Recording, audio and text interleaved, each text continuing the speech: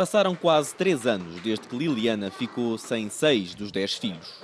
Naquele momento eu queria abraçá-los todos, tentei, tentei pegar os miúdos, pegava num, pegava no outro, tinha bebê ao colo, tinha a Melanie no meio das pernas. Esses filhos agora são nossos, você fica aí, resolva-se, que nós vamos levar os, os, seus filhos, que neste momento vão ser nossos. Né?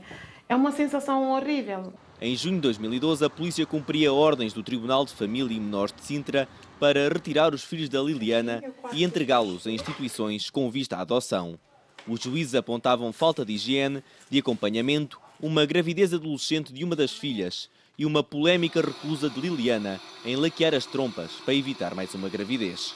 As crianças nunca mais viram a mãe, nem se viram entre si, ainda que o tribunal reconhecesse fortes laços familiares.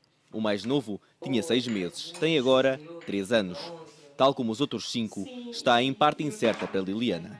Eu estou a correr o risco de um dia encontrar com os meus filhos, porque eles são todos muito pequeninos, podemos dizer praticamente bebês, né?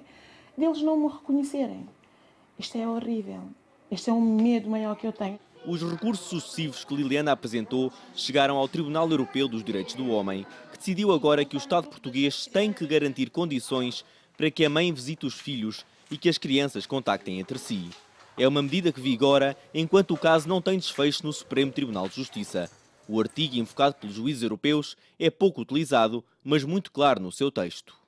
O Tribunal só emite uma medida provisória contra um Estado-membro quando, tendo revisto toda a informação relevante, considera que o requerente enfrenta um risco real de danos sérios e irreversíveis, caso a medida não seja aplicada.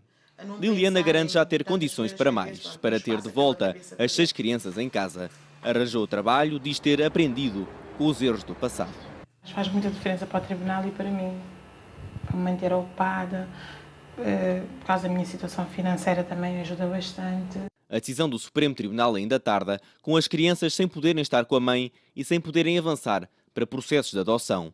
Mas o verdadeiro objetivo é tê-los de volta aos quartos vazios há quase três anos. Eu sonho. Eu sonho com isto. Sabe, estou tão ansiosa.